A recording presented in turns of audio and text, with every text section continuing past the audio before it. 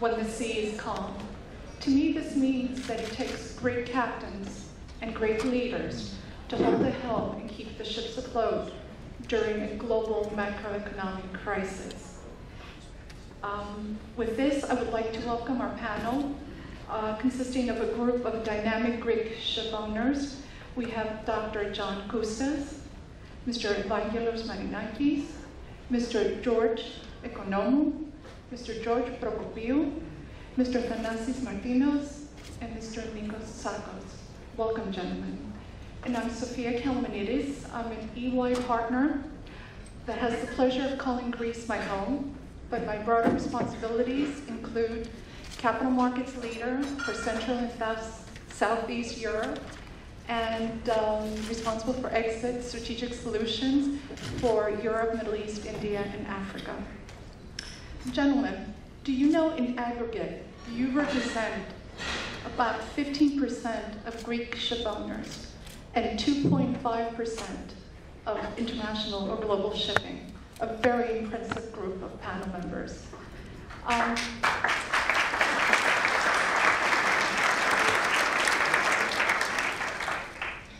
now, having you captive on stage has tempted me, and I have to confess, to ask a lot of questions. But I know Nicolas has put us on limit, so we'll try to keep my questions to the time allowed, and hopefully um, leave some time for our audience to ask some questions. Okay, now. The past five to six years have been uh, a difficult period with uh, current day ship owners really uh, having to manage the uh, headwinds of the economic crisis.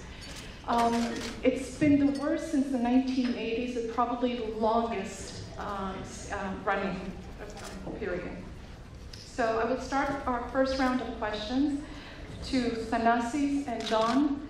Uh, the question is, is size important to be able to survive the current challenges? And we heard earlier in the panel around consolidation. Is consolidation in the industry a solution?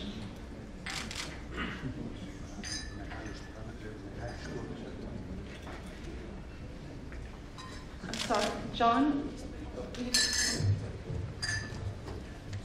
Well, uh, size is definitely important. Uh, first of all, in order to have a meaningful market presence. Uh, if you are a small company, then you will have difficulty in uh, developing relations with the people who control the cargo.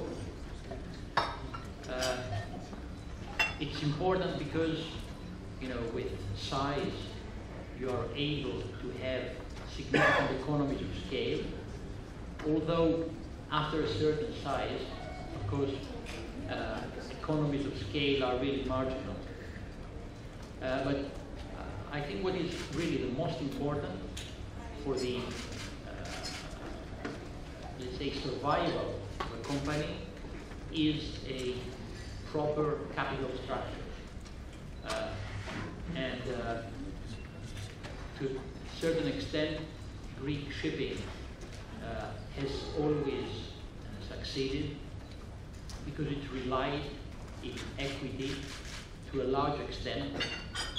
And uh, this is probably the reason that during, let's say, difficult times, during times that one has to be counter-cyclical, Greek ship owners have managed to increase their presence and reap the benefits when the cycle changed. Uh, when we talk, of course, about uh, size, uh, when we talk about, let's say, public companies, uh, size is extremely important to have access to capital markets. Small companies today uh, are unable even to list, not alone, let alone to access the equity or the bond markets. And uh, in this respect, one should it's, this doesn't mean necessarily that uh, you know, small shipping companies will not survive.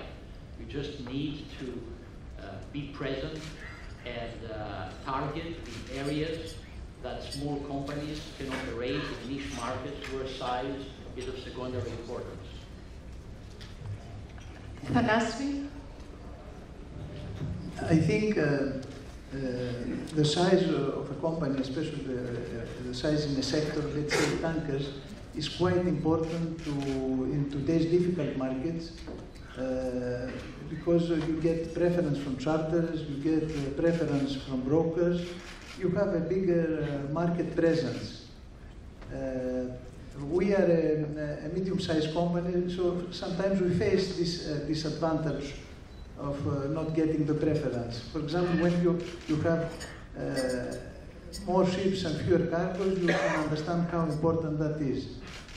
O- on the other hand, I also think that flexibility is uh, uh, an advantage, and uh, except size, you have uh, to have in a shipping company, you have to have a spread among various types of ships. You have to have a portfolio of uh, more than one type of ships. This is also evident today. Uh, dry cargo, dry bulk companies who are purely dry bulk uh, face a disadvantage. If you have a mixed fleet tankers and dry bulk ships, at least you, you, you do a better average. Uh, consolidation in these difficult times among companies, especially among Greek companies, uh, is, is uh, quite difficult because the finances, uh, financial conditions are different, the um, culture is very different. As we know, uh, Greek companies, even public companies, who are controlled by individuals, uh, you know, they are more, uh, uh, they depend on the major owner. Uh, I think uh, one way of consolidating is pool, pools. So we have uh, seen some of the smaller owners join uh, bigger pools of various types of ships. In, in, in our experience, uh, sometimes these pools do not produce better results uh, than uh, uh, individual owners. Perhaps because uh, the management is a bit more uh, like civil servants, let's say, it's a bit more indifferent. But in any case, for, for owners who have not the expertise of chartering, certainly one way of consolidation is for their ships to join uh, pools of ships, tanker pools, product uh, tanker pools, you know, even container. Some of these uh, pools of ships are successful. It's also uh, for, for the financiers of uh, shipping companies, it's reassuring. You know, they, they think there is an umbrella for the income of the ships. Thank you. As a continuation to, to this theme, um, uh, for a question to Nikos and Evangelos. So if, in order to be more successful, given the, um, the issues that are being faced by the shipping industry, does it make more sense that you're operating your own vessel, you're putting your vessels in a pool, or you're actually giving the management of your vessels to a third party? I mean, is there an advantage of actually creating a, a different plan or mix? I think that uh, for an owner to control the commercial and technical operation of its fleet is uh, a key of success, is the key for success. And um, I think that it's very important for the charterers and also for the banks to know that uh, the owner is controlling the process. Uh, I have seen over the years many companies that uh, also they were listed and they have uh, uh, third-party management. Also, they have their ships in uh, different pools. Of course, when uh, the conditions are not right in our markets, uh, we don't see these companies surviving and or they have faced a lot of problems. I think that it's very important for a charter, especially for a big charter or an oil major, to know with whom he is fixing, who is controlling uh, the ships, and uh, in a difficult situation or where uh, you need to be flexible or you need to face various problems that uh, uh, can arise in our industry, they need to know with whom they speak, if he is bankable, if he, what the reputation is, and uh, they should act accordingly. I cannot, um, I find it very strange uh, when uh, a charter or a trader over a period of time is transporting uh, billions of dollars worth of cargo, not to know who the, the technical manager is or who is controlling the commercial uh, uh, uh, process for uh, the vessel. And uh, as far as we are concerned, we are doing all this, and uh, this is a key of our success because we do repeat business or uh, uh, for the continuity. It's, I think it's extremely important. It, is, it goes without saying. Thank you, thank you, Sofia. And I think before I start, I would like again to congratulate uh, Nick and Olga and, and the team for another uh, more than a full house uh, from New York to, to Athens and all over the world in London. I think I don't know what the secret of success. Perhaps perhaps it's the free food or the market is very bad, so people have, something to do. But I think it is uh, another unbelievable crowd, and, and I hope most, most of you are shipping people and not people Nick brings from the street. But uh, uh, again, Nick, congratulations. It's, it's very impressive for that. I, I, I agree with uh, with uh, Vangelis before that branding is very important. Uh, it's like uh, in, in the hotel business. Uh, people uh, would not just go and stay at any hotel. I mean, they will choose uh, either a Westin hotel or, uh, let's say, when the market is better, one and only. Or so you need to know that your cargoes are being carried by someone who has the brand that you can trust. And that's why I think all these faceless technical management companies, which I think we all support and we know that they play a huge role, is uh, you know, need to have uh, a, figure presence. Uh, running the ships. However, also I agree with uh, with uh, Thanasis that I think we are in a fragmented industry, mainly in tankers and dry, and I think pooling is a good uh, it's, it's a good thing going forward. I mean, we need to try and have one voice in order to control the supply and demand as much as we can and not being uh, under, undercutting each other from that. So I think there's a combination. Uh, on-hands management is very important, but I think pooling will be getting more and more as we grow forward. Thank you. Okay, thank you. The next question is for George Procopiou. Because of the prices of vessels being at lower, uh, usually you would expect that this is a great opportunity for investors to really buy uh, assets. Um, and if that's the case, is there a particular sector that is more attractive to make investments in? Thank you for having here. Congratulations. Always you are us with the number of participants. We are not uh, very often on panels because of choice, but uh, this effort and in these difficult times to show our presence and our dedication was something that made me to participate. But I have to, to allow me to expand before going on this, uh, because it's a very narrow uh, question. Uh, first of all, I see great agony from bankers and uh, owners. Uh, what is the future of shipping in Greece? So I would like to say that uh, for the last 4,000 years, 5,000 years, Greece was the center of shipping. And you go to, to Santorini, Akrotiri, or in Delos, and you find the ship owners' houses with frescoes, with uh, anchors, with uh, ships carrying goods. So don't worry, shipping will stay in Greece and will continue. The, the, the history of 4,000 years guarantees that this will remain a shipping center, no matter what uh, small uh, waves we have. Secondly, the tunnel in shipping, as always say, the tunnel is not straight. It's not a tunnel that is straight and it's dark and you don't see the end of the tunnel. The tunnel of shipping goes straight and suddenly has a turn, and suddenly you are in the light. No prediction ever was uh, correct.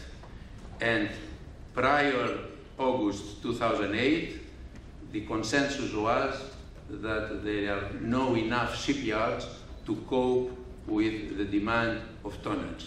So everybody was trying to build more shipyards to cope with the demand to. So shipping market collapsed, not because of ship owners, not because of ships, not because of trade. The market collapsed because the collapse of bankers and banks that they have taken positions that they were unsustainable, having less than 1% equity in the positions that they were taking. So this is, was a failure of banks and changed the outlook. Now, as far as uh, why, what need to be done, specialization, competitiveness, so to be specialized in a certain field, to be competitive, to have very lean but reasonable running costs, to go in niche markets, to have quality service, that your clients to be satisfied with your service, to have innovation. In shipping is, we have seen the demise of ship owners from sail ships to steam ships, from steam ships to coal ships, uh, to, to, to, to turbine, from turbine to diesel, and, and diversification. It's very important to, with one leg you have a certain stability, with two you have a, if you have a third, uh, fourth, so these are, in my opinion, the prerequisites. How you do this? With hard work, consistency, and faith. The market will come back on any type of vessel, and you must be there. We are saying that shipping is a volatile uh, business. No, it is the most stable business because it's stable in it is in its instability. So you have to know that the sh- shipping is like that and is stable all the way uh, along. The instability is the the and the volatility is how you can make profits. So timing is of paramount importance. And now I come to your question. that what to buy? Buy anything that is cheap. I would say anything that flows because now almost everything is very cheap. Be able to sustain it or make your arrangements. The banks have now to show their belief in shipping. Now is the moment to help the owner. The owner that bought a, a, a cape at 100 million can buy now one at below 20, and the average to come to, and if he buys second and third, and the owner is the only person that can look after the asset, the best solution. I was uh, hearing about workouts and all this. So, no analyst, nobody knows anything. Three years ago that I had problems, and for years, they, there were about 25 bankers in a, in a meeting to see what is the best solution for me. So one, in order to tease me, said, uh, if I give you now 150 million, what will do? And they'll say, I'll buy as many as can VLCCs. They started laughing. Everybody was laughing. So nobody knows. And only continuation, dedication gives the result. Now it is the time for the dry cargo owners to buy very good, cheap uh, second hand, always second hand, always second hand, always second. Uh, as for other sectors, it's approaching the offshore, the offshore supply vessels, but we need a couple of years for that. Uh, tankers, it is a question mark. If you ask me, I believe very much that the world will be continued to need oil, although gas is competing very much. I don't know what will happen, but uh, it is in the, on the balance. But uh, and don't think that what science is always gold. The LNG carriers spot market below twenty thousand dollars today. So three years ago was a big rush. Ah, you did the right thing, but uh, let's jump on it. So, uh, timing is of paramount importance. Thank you very much. Thank you.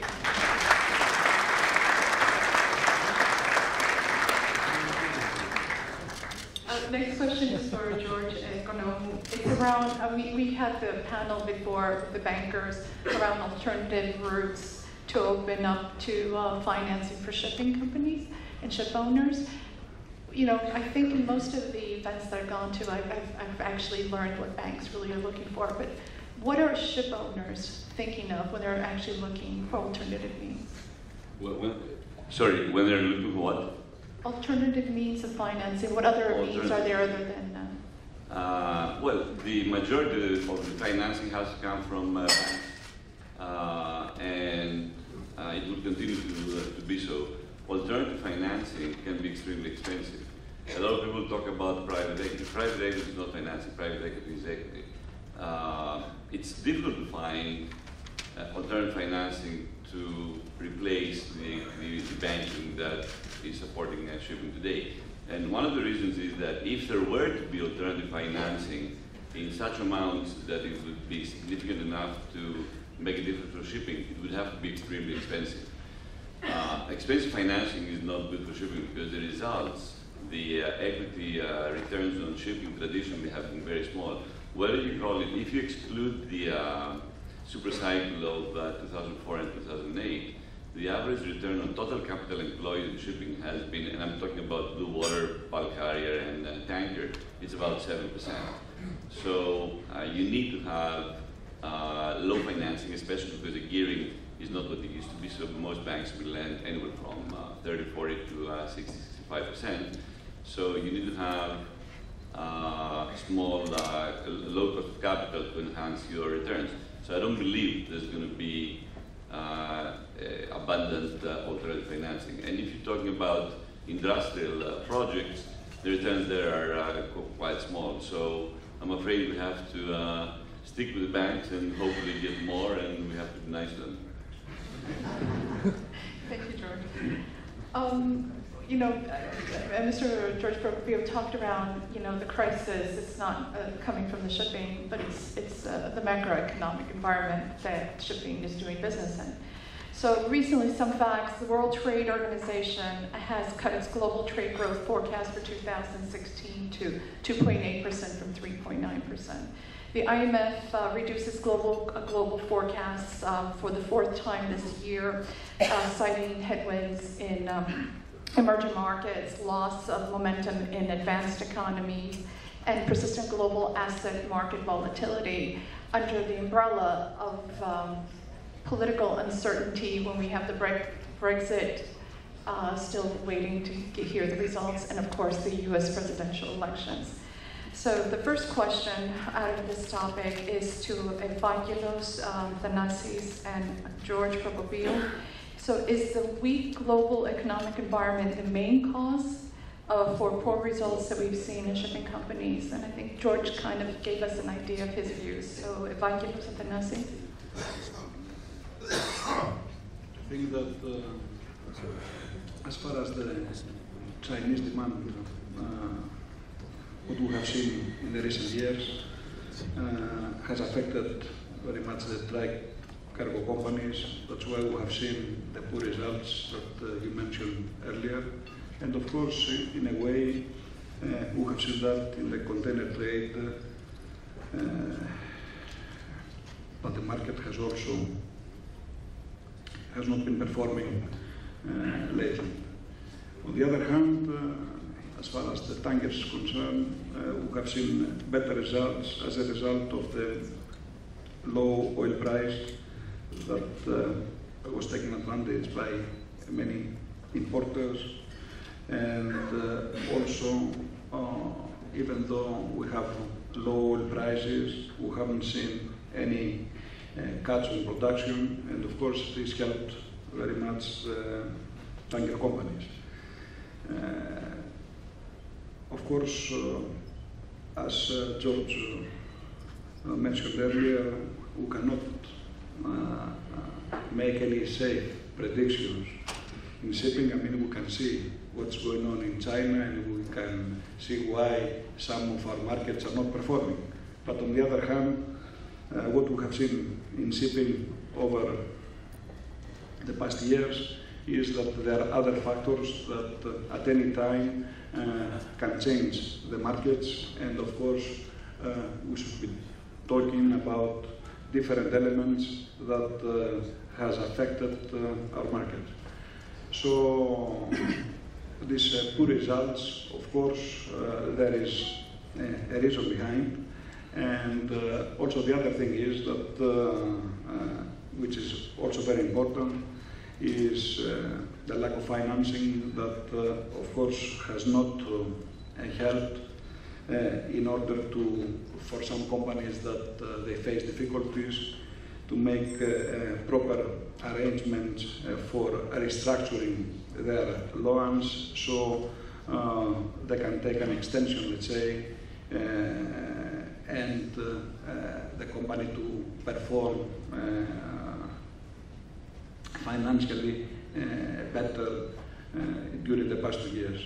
So I think that both China, both, both the lack of financing has not helped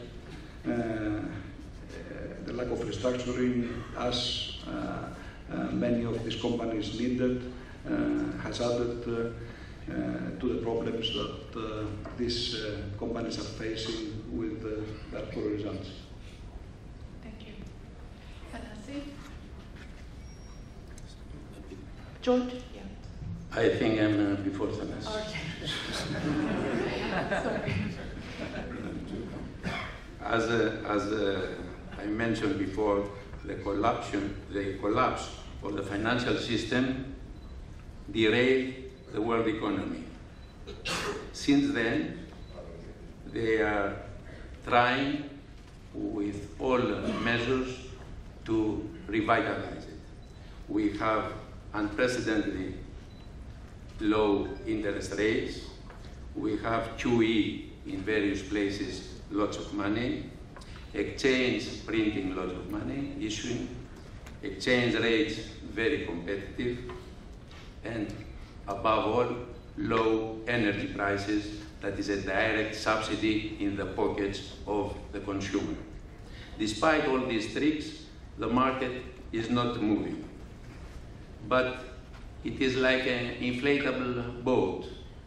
If you have a big inflatable boat and in the past that you were inflating with a hand or a foot pump, you do, you do, and you think that there is a hole. And suddenly it becomes very strong and becomes a boat from. So I believe we are in the late stages of this pumping up. We have India and Africa coming very, very strong, and we do underestimate India, we underestimate Africa. So I do believe, yes, it was the financial situation, that's what they said, that created the bad market. But, and also one other very important reason was the export of democracy from United States, which ruined all the countries around Mediterranean. So this reduced hugely the buying uh, uh, power or the markets, and still they are, uh, they are trying to, to, to see where to go. Now it starts the old figures to be remembered with nostalgia, nostalgia because they, they suffered so many millions of people that, you know, the best of the two evils. Anyway, I don't want to go politically now. But,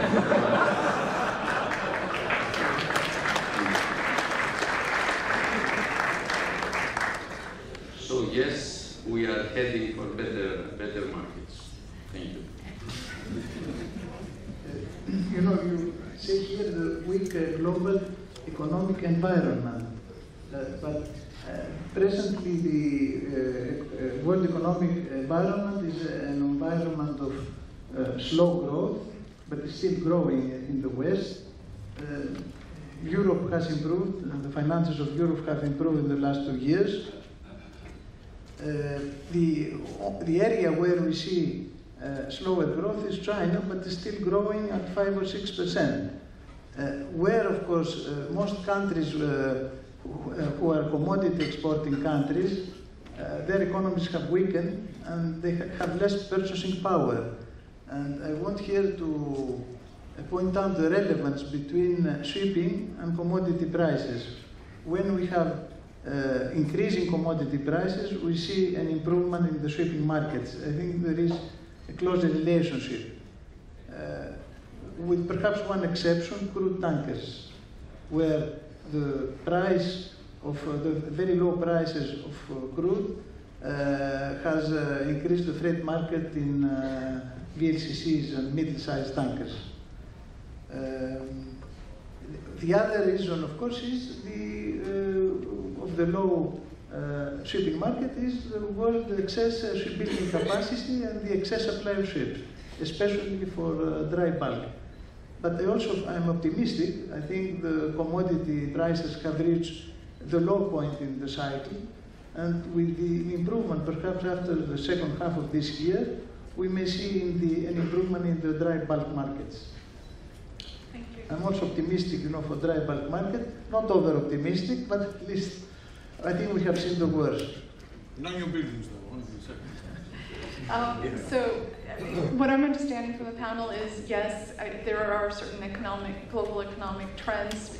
Growth is not stagnant. There is some some growth there, but it does not create the momentum needed in order for the shipping industry to actually get the boost it needs.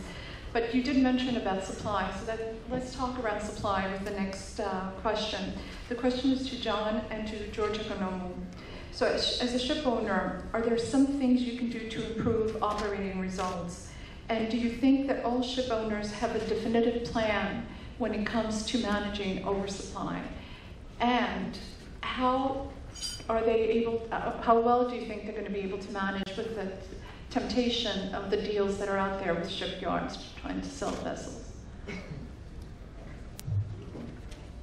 Well, the issue, uh, as uh, George said before, uh, we have seen, you know, during the 80s that the return on equity on shipping projects was merely between 6 and 7 percent. Uh, that was quite uninspiring. And we have really to see where we are now in perspective of that era. Uh, we've been spoiled in the last decade with what happened in China. And, uh, you know, people tend to extrapolate very easily. Uh, the supply was projected to increase, you know, at phenomenal levels. Uh, people were talking about lack of shipyard capacity back in 2008. And we are today in a situation of shipyard capacity which is at least double of what is required in steady state for the replacement of shipping. Uh, now, the issue now of controlling supply uh, is really not easy. I mean, shipping is a fragmented industry, and uh, everyone is looking at opportunities uh, because everyone tries to be counter-cyclical. Uh, they will try to go and buy a ship, and the problem is that exactly today, because of the various countries' willingness to finance their shipbuilding industry, it's much easier to order a new building rather than buying a second-hand ship. And uh, this is really where the problem lies. Uh, countries and the ECAs that uh, are really interested in protecting their shipbuilding industry are giving terms that you know, ship owners have find hard to resist in a number of times. And uh, also, uh, I mean, from a speculative point of view, it's much easier to speculate on a new building than it is on second hand. And that's where the whole problem starts. Uh, ship owners can do very little about that because uh, everyone and uh, you know who tries, let's say, to uh, to talk the market down, you can see the same person that predicts catastrophe. The following day, he signed a new building contract. And, uh, you know, that has happened a number of times in the past. So, uh, because also there is a herd mentality in shipping, uh, this becomes even worse. I remember back in 1983, uh, in 1982, we had placed some an order for, uh, for three ships in Japan. The market was looking really terrible, and uh, you know we thought that you know we're going to have a correction. Something like three months later, Sanko comes with 120 ship orders uh, because that was, let's say, a combination of speculative ordering and Japan Inc. trying to prop up their shipbuilding industry.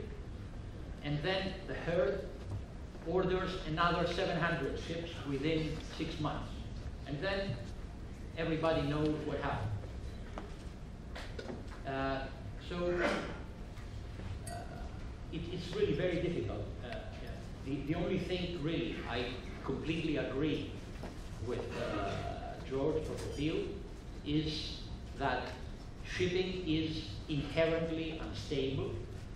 Exactly because of that, it will always be cyclical. And uh, one has to take that into account when doing, when taking decisions. Uh, on the other hand, uh, because we were talking before about, uh, let's say, every, everybody tends to concentrate in world GDP growth. Uh, world GDP is, of course, one metric, but here, when we're talking about shipping, we talk about trade. And we have seen the multiplier of, uh, let's say, uh, trade growth compared to GDP to go from two and a half back in uh, the previous decade to below one last year. So we have to see not just, let's say, GDP, which of course is important, but trade multiplier uh, actually is pointing out to structural differences in the way that economies develop. And uh, that's why our interpretation of growth in various countries uh, cannot be taken for granted.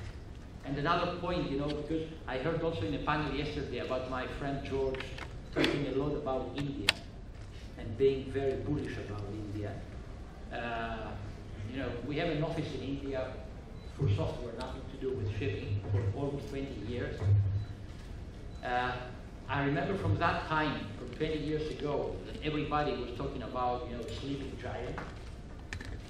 Uh, I was on the way from the office going to the airport, and we were stuck in traffic. And uh, I said, you know, what's going on? We're something like standing for about 10, 15 minutes. And I said, what's going on? He said, you know, there's a cow on the street, you know. And I said, you know, just get out of the car, kick the cow to move. And they know that the guy was trying really, you know, to keep me in the car because it's a sacred animal and, you know, we should leave it stand and when it decides to move, you know, we will pass. I think it's very hard, you know, for people with that kind of mentality to have really explosive growth.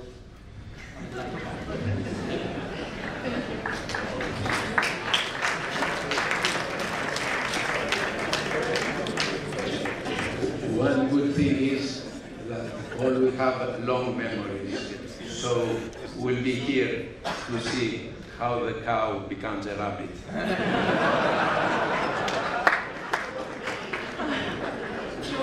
George, Economou. Uh, John said it right. It's a very fragmented industry. And the more fragmented an industry is, the less an independent uh, player can do. The most fragmented is uh, the bulk carriers, followed by uh, tankers and so on and so forth.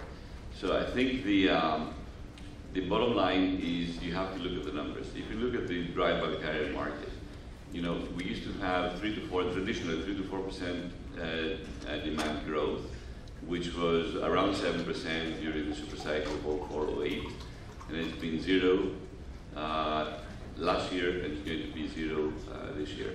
So I think people need to uh, make assumptions on where trade is going or the trade they're interested in. And I'll use the, the uh, Bulgaria as, as an example. The order book is around 14%. You have an attrition if you assume that the vessels go to scrap on average at 25, sometimes it's more, of 3 to 4% per year. So the new building uh, uh, lead time from signing new building used to be two and a half, three years, maybe it's one and a half, one, let's call it average two years. So you would need to have an order book in order to have the same supply and demand that matches the projected growth on top of the attrition of 3 to 4%. Right now, the bulk carrier order book is not big as compared to other times, but it's big if we assume that the trade growth is not going to be uh, uh, that, that big as it was in the past. So I think it's important to take a view on the future. Same goes for uh, tankers. The order book is, uh, is bigger there, uh, and you have to look at the projection of the uh, trade growth and any technological advancements that there may be, because this has been in a lot of sectors that may make the difference. Uh, bottom line, given the uh, excess shipbuilding capacity, I think we have to be restrained. And for those that are uh, new in shipping or newer in shipping, I remember the first thing that somebody told me, a friend of mine, when I started in shipping 40 years ago, go and buy a seven-year-old ship. And at the time, it was bulk carrier. I started with one bulk carrier. At the time, it was, and still today, because the Japanese, they were using the ships for seven years and then uh, selling them. They were not well maintained, but it didn't matter. The Greeks were uh, good at that. And I think it's the same thing today. You know, go buy a seven-year-old ship, and that way we will not have the excess new buildings that you know predominantly destroyed the market from 2000. Well, they started in 2007, placing the orders, but that's that's what destroyed the market. All right, thank you. Um, Nico, as the chairman of Intertanko, can the association play a greater role as a think tank in order to address policies? And we heard John talk about HERD, so I'm guessing if, if you can follow a particular um, policy as a group, then you have greater momentum. yes, uh, thank you, Sofia. Well, uh, Intertanko really is a, a, a, networking association where uh, CEOs of uh, tanker companies uh, can sit around and, and, discuss issues like this. However, we have not yet progressed into a trade union uh, level, regardless of my appearance today.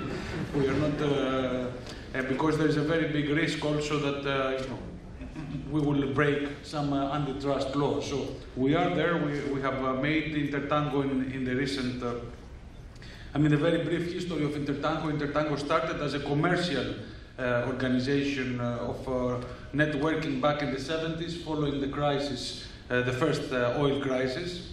then it lost a little bit of its commercial side because of the OPA 90, for those of you old enough to remember, that was the big design change on ship. So Intertanko had to become much more technical. And now we're balancing it back uh, to be a commercial uh, uh, association where we can sit and discuss exactly, I think, what George and everybody said. Guys, you know, the market in tankers is ours to lose. I think you all said there is growth. Uh, it is really an, uh, mainly in crude, there is an, an inelastic model. Uh, the market only dropped once back in 2009, the demand. So between some slow steaming, if we need to do, uh, you know, if we can keep uh, our, uh, our appetite for new buildings low, I think we can maintain a good, comfortable tanker. So this is the message we're trying to, to give out to the owners. We cannot force everybody. I mean, this Posidonia is going to be painful. Uh, as you know, I think, George, you mentioned it, a lot of the yards are suffering. They're out here. They're going to be attacking us everywhere. That's why we're hiding here, uh, trying, to, trying to sign letter of intents left and right. Uh, so I like your seven-year-old, uh, seven years each uh, situation. Uh, so let's stick to that. Uh, it's ours to lose. I think if we can stick down, if we can absorb the remaining of 2016 new building deliveries and part of 17, I think then we're going to be seeing a comfortable. I don't think we're going to see $150,000, but you know anywhere between 45 and 60 on the VLCC uh, would be something uh, for us to continue the business, run a tight shop, and give a good service and, and, and earn a return. So that's what Intertanko is, is for. Thank you. I said earlier that I'm going to leave some time for questions, so I'm going to raise one question to the entire panels, and it's about having a magic looking glass or ball and projecting as to where Greek shipping will be in the coming years. Uh, can we start with John, and then we can get the views of all the panel members? Well, I think that uh, you know, George Procopiou has summed it up very well. Greek shipping is a tradition. It's something that uh, you know we've been doing for thousands of years, and will continue to do it for thousands of years in the future. Uh, no matter really what happens. Uh, we know that people always fight the leaders, but we are there, we are strong, and we'll continue to be at the top. Thank you. I think that uh, tradition is very important and also it's very important how we have grown up in this industry. We have grown up uh, uh, being very competitive and compete with uh, extremely big companies, with states, and uh, all along we know inside us that in order to be successful you need to work hard, you need to have faith, and of course to be consistent is something that uh, you live with it and uh, becomes your nature. So I think that uh, Greek shipping will be there. Uh, maybe we'll see some changes in uh, the persons involved in this process.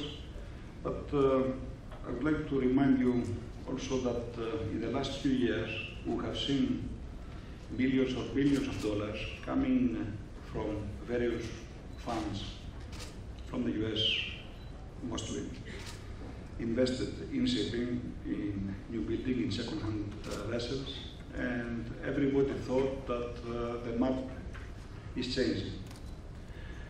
And you saw that, that uh, what the result uh, has been, that uh, a lot of these funds either do not exist, either they have sold, or they are not there because uh, uh, shipping uh, it's uh, a more complicated industry than what it seems, and uh, I think that tradition is extremely important when uh, there is an entry point, where there is an exit, and uh, much more important, how you operate these vessels.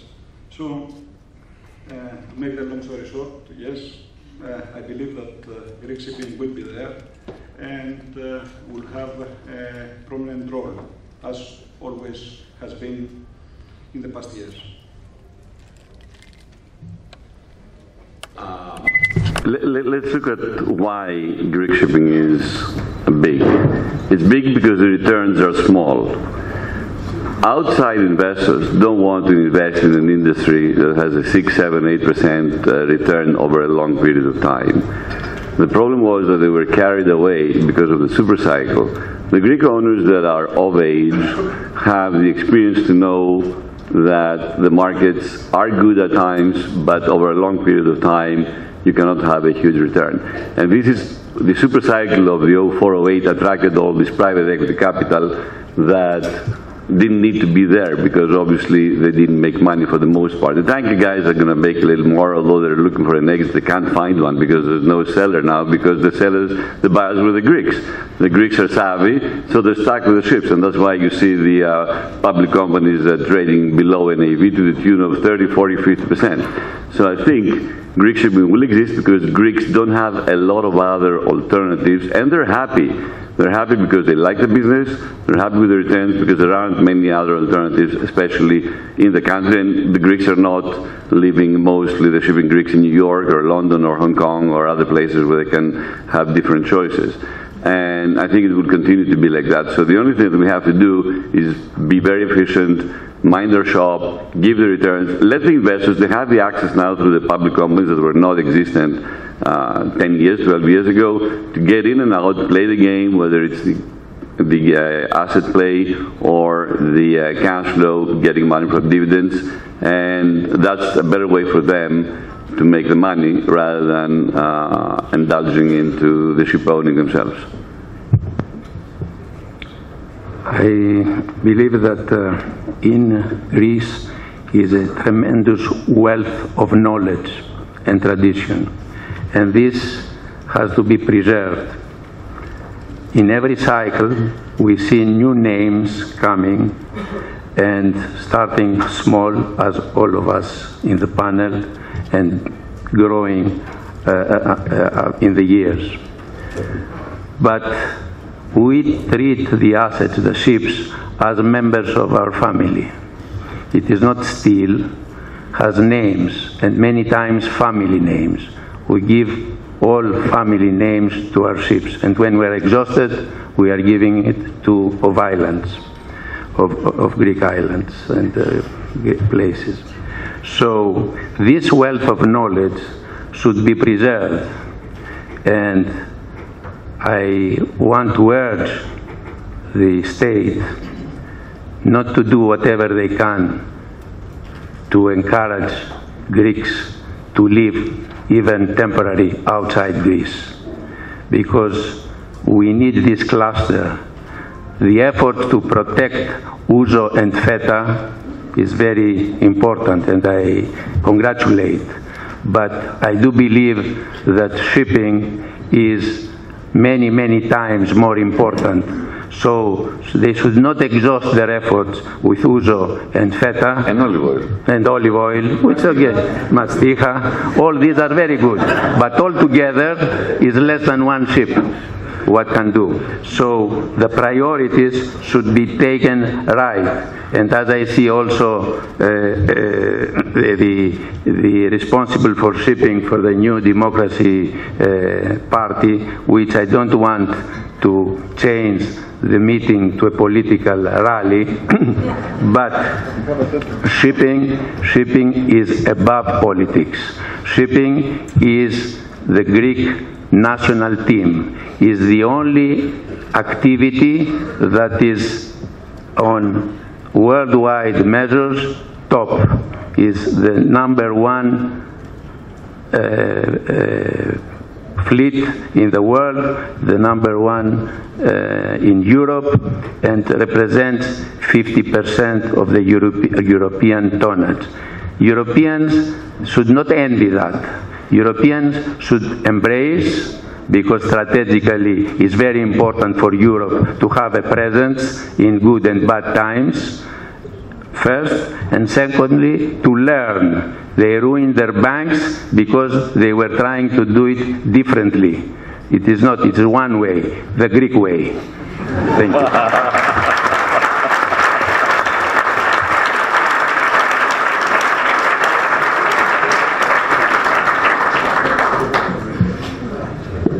I think uh, uh, we all know that uh, Greek shipping is very important for Europe. We are uh, the Greek fleet, Greek-owned fleet, and uh, Greek, uh, Cyprus, and Malta flag is 50% of the European fleet. I think it's also perhaps the, one of the few sectors where Europe is competitive. Is a few economic where Europe is competitive. Uh, a lot uh, for our presence here of Greek shipowners. I will be present for many years, but we want to be present in Greece and in Europe. Uh, will depend on the European uh, community policies concerning shipping. I mean, they should uh, really adopt and protect shipping to preserve their uh, advantageous position, for, even from a strategic point of view, and uh, I think everybody should do their best to, to persuade the European bureaucrats and uh, who are otherwise very able to see the right things and uh, protect Greek shipping. This is the point I have to do. And I would like also to make another comment, uh, which is sort of gossip. I was very surprised, not surprised, I was a welcome surprise to see the invitation to the Posidonia exhibition of uh, uh, Luxembourg shipping cluster, uh, inviting Greek shipowners, what else here in Piraeus, to see the advantages of Luxembourg as a registry and as a, and I'm sure there are advantages. It's even considered the Euro Luxembourg flag However, uh, Mr. Juncker at the time recommended to our government to, to tax ship owners, you know, to tax Greek international ship owners. On the other hand, they invite us now in Luxembourg, where I'm sure we will not be paying any taxes. So there must be some unanimity in the European policies, and as I say, protect Greek shipping. It's very important for our future. Thank you. In, in this, in this respect, I want to add, Mr. Martino sent me a note that it was this invitation to go to Luxembourg, saying, ανοίξαμε, ελάτε να σας περιποιηθούμε. Σας περιμένουμε. Ανοίξ... We, Ανοίξαμε we και just σας opened περιμένουμε. and we are waiting for you. The same day that there were the announcements about the new uh, directive against Greek shipping. So the same, from the same uh, source, the same. In any case, we have many suitors, which assures of our future. No, I think I think yes. That was after the invitation of Panama. I think uh, it's uh, so it is a good combination. No, I, I have to say I, I agree, and uh, I mean first of all, looking the crowd here and of all generations, the, the future of Greek shipping in the 10 years uh, is going to be here. You know, whatever whatever happens, it's a matter of, of everybody referred to of, of tradition. I think it's uh, I think uh, it's very similar to you know the French have the wine, the Germans uh, have the auto industry, amongst other things. But I think the Germans, and I know you have many German friends here, are bankers, and uh, this uh, nice idea of the KG that uh, oversupplied the market with tonnage and brought the rates down, which was a very smart idea. Yeah, I'm- I think Germans know as much about shipping as Greeks know about the car industry. And no, no, I think I, I think it's true, and you should. I mean, we have not we have not had a Formula One car manufactured in Greece. We had something called the Hercules. We had three legs, three tires, back in the 60s. That's the, the biggest car. But it's true. Europe has to focus on its nation's uh, strengths the Greek strength. I mean, why do you want to come and uh, you know and take shipping, which you cannot anyway, take shipping out of the Greeks? I mean, you took a lot of things out of Greece. The one thing we have, we are good, as everybody knows, it's a tradition. This day you should help. Uh, Europe should help and promote Greek shipping because it's good. I mean, we don't want to uh, start a start a car factory to compete with Germany or start producing wine uh, and you know. So this is what Europe is about. So I think uh, you know, be proud. Greek shipping is going to be here, and with you know people like this, and I even brought my daughter of 11 to start feeling uh, getting in the future today. I think the future is going to be uh, around around this uh, the shores. Thank you. Thank you.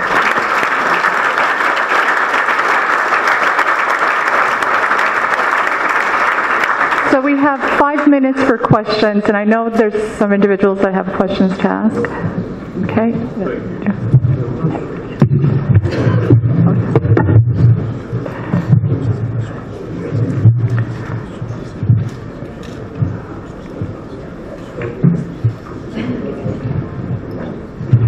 Joe from All About Shipping in London, now in Athens, enjoying Posidonia. I will start the other way around. Uh, I think uh, Nikos Tsakos forgot something important. Nicholas, we are far beyond the Germans in car production and design.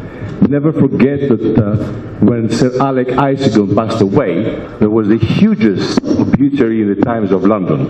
But then Mr. Karamanlis, at the 50s, he asked them to throw the guy away. He was nuts. We are very good in this, believe you me. Sorry to remind you this, but the Mini, you know, the Rolls Royce of the actual British design car making was Greek.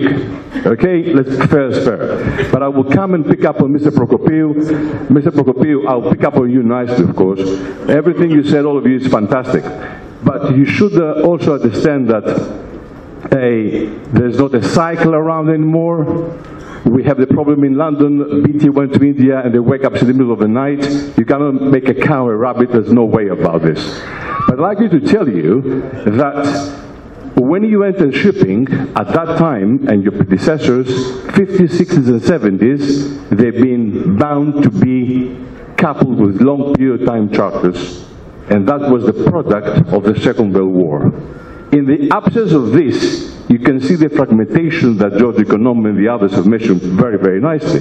Yes. So the question is, you don't need to have the crystal ball. You must be practical and understand that this absence goes ahead. There's no time charter around, period-wise. So this is important. We were 4,000 years, fantastic, that's fine, that's great. But the, the, question is, why, why we don't have Greek banks to finance, they know better what they do, A, and B, why we don't build ships over here, and then you, all of you, all of you, except, except in 2007, you should have sold the entire thing, completely, completely. Why sir, didn't sell? Sir, sir, uh, let me let me let me put it in perspective. Let me put it in perspective. We, I started in one third of a vessel in 1971. Very old and very difficult to operate. Now, in 2016, we have above 100 vessels, all modern, and in order to survive, we are cutting ice, we are doing all sorts of tricks in order to, to, to make ends meet. So, uh, there is not a recipe. And uh, if we had sold, we would be out of business. We are here to stay. So yes, we buy and we trade uh, the assets when we feel that sentimentally we can depart because this is my difficulty. I have my first uh, boat uh, uh when I was 16 years old. So to sell and to sell everything out is a nightmare just uh, to, to think, although uh, financially is correct. So your question is why the banks are not giving more money? Because they don't have, simple. if they, when they had, they were giving. Now they don't have, and we are grateful for what they have done up to now. There is no recipe. Each here and each uh, person here is approaching shipping with a different angle. All angles are successful. That's why they are here. Everybody has his own uh, method new, old, dry, wet, container, lots of loan, no loan, uh, partners, no partners, public market. All these recipes are recipes of success, provided that you can do it. Always the other man's job, the other man's business is the easy one. No, sir. Everyone's job is very difficult. Thank you. Okay. Any Another question, please. Only questions, no statements. Another question, please. Another question. Call me, call me. We can close it then. Okay. Um, I would like just to close uh, the panel discussion with another quote. And this one is from Aristoteles Onassis that says, We must free ourselves of the hope that the sea will ever rest. We must learn to sail in high winds. And you gentlemen have explained to us today, uh, you know, some plans as to how those uh, gusts of winds will need to go. Thank you, gentlemen. Thank, and I look forward to your continued successes. Thank you, Capital Link.